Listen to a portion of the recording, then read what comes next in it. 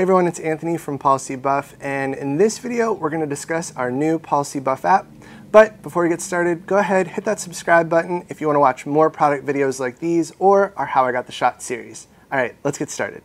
Our app is a free download on iOS and Android devices, and in this first version, you're going to be able to control both your modeling light and flash output directly from your phone or tablet. And we have some cool new features that'll be added over time. To use the Paul C. Buff app, you'll need to make sure that you have the hub remote and a Paul C. Buff flash unit. Also, you want to make sure that your hub remote has the Bluetooth on. All right, let's go ahead and get into the app. Once you download it, press on the Buff icon. This will open the app. You'll see the Buff logo and a splash screen. Once the app loads, you'll be asked to search for hub remotes. Go ahead and click the Search for Hubs button. The hubs that are within range will now populate within the app. Find the serial number that matches your hub that can be found on the box that it came in and also under the About section on the hub remote directly. To begin pairing your device, click on the hub remote that matches your serial number. Then click Pair Hubs. Next, you'll want to select a frequency. For this purpose of the demo, we're going to be using frequency 13. You can change your frequency by pressing the plus or minus sign next to the number. Then click Find a Flash Unit. Once found, a flashcard specific to that flash unit will appear. Each flashcard shows the flash power, modeling light, channel, mode, and settings.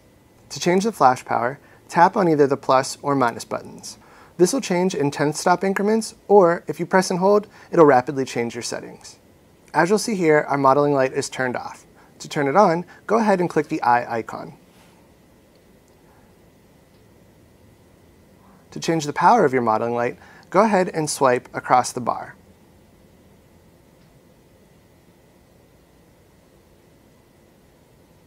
To collapse the flash power shown in the flash card, go ahead and tap the eye icon. This will keep your flash active at its current power output, but does allow for more room to see different flash units that you may have in your setup. Again, to turn off the modeling light, go ahead and click on that little eye icon. To make additional adjustments to your flash unit, go ahead and click that settings button. This will pull up the flash unit detail. It includes your flash unit ID, the flash unit settings, and your hardware settings. Within the Flash Unit ID, you can change the name of your Flash unit to something that might be more specific for you. In this demo, we're going to take out Link 800 and we're just going to put in Mainlight. Bing, bing, bing. Whoop.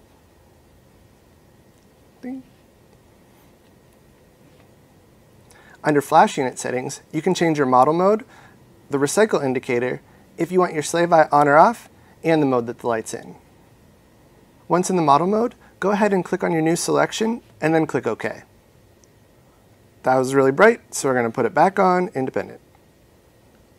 To change your recycle indicator, go ahead and click on that. Again, make your selection and click OK. To turn your slave eye on or off, just go ahead and hit that little toggle. On the link, we can change the mode from action to color. Same thing, click on the selection that you want, and then click OK. Under the hardware settings, you'll see the channel that your flash unit is currently on and the hub that it is paired to. Also, you'll see there it says current firmware and it'll let you know if there's any updates available. Now, let's go back to the main screen. To turn off the flash, click on the slider in the upper right section of the flash card. Under the main screen, you'll see in the upper right hand corner a file folder. Go ahead and tap that. This allows you to save your setup. For this, we're just going to put it as test so type that in, you have a max of 25 characters, go ahead and hit Create Setup. Now your setups are saved for future use. After we've saved our setup, it takes us back to the main screen. You'll notice in the upper left, next to the word buff, that there is a hamburger style menu. Go ahead and click that. This brings up all the different sections that are located within the app. Flash Units is our main section that we've been working in. Setups is where we just saved our setup. In the Hub section, it shows the hub that's connected, its serial number, if there's a firmware update, the frequency it's on, and how many flash units are currently connected. You can also unpair this hub from this section. Under Resources, you'll see our product manuals, videos, Studio Flash Education, light modifiers in use, and the Buff Basics blog. If you click the Shop button, it'll take you directly to our website. Under Settings, you'll see where you can manage your hub, which is the same field as our Hub section before, Contact Support, which will allow you to contact app support, and the software licenses that are used for this app.